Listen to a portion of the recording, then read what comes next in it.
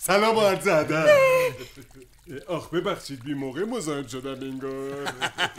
اتفاقا برعکس. خیلی هم خوش موقع تشریف آوردی عطایی جان.